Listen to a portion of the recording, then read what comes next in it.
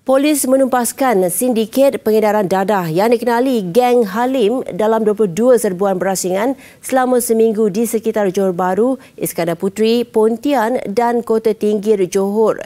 23 suspek termasuk 4 wanita tempatan dan 2 wanita warga asing ditangkap.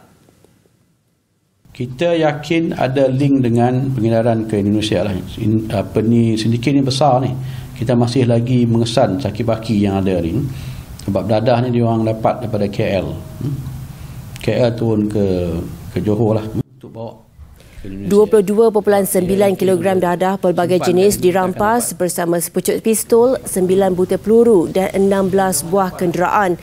Nilai rampasan dadah dan sitaan itu bernilai lebih RM728,000.